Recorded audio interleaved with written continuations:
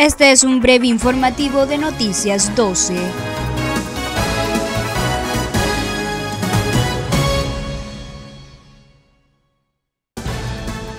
La Cruz Roja Nicaragüense brindó 581 atenciones durante las fiestas de Santo Domingo. El Ministerio de Salud reporta aumento de contagios por COVID-19.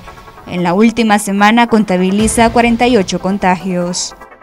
Suspenden zarpes en Bluefields, El Bluff, Corn Island y Puerto Cabezas por el desarrollo de la onda tropical número 21.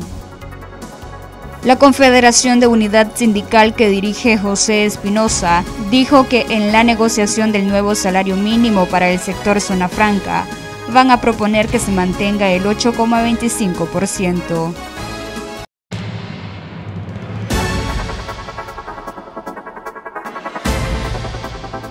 Espere la ampliación de estas y otras informaciones a las 6 de la tarde.